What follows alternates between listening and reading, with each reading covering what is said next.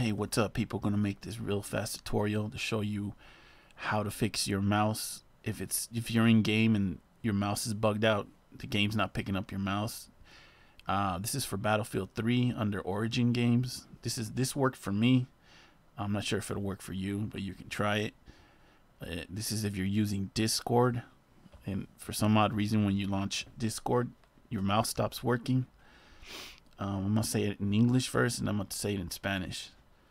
So what you want to do is you're going to go to your origin application settings and then your origin in game. And this enable origin in game, you turn this off. You can turn you turn that off and that worked for me. But the, I don't know, other people say that the streamer mode in uh, Discord, this and that, blah, blah, blah. That didn't work for me. It was this right here. I turned that off and it worked. All right, so now I'm going to say it in Spanish. Si tienen problema jugando el Battlefield 3 con su mouse y no lo está levantando en el juego su mouse, lo que van a hacer es van a ir a su cuenta de Battle, de, como yo lo estoy haciendo aquí.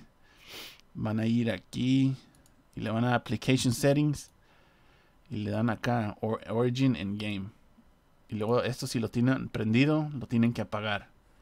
Y ya les va a servir su mouse. Alright, so don't forget to subscribe.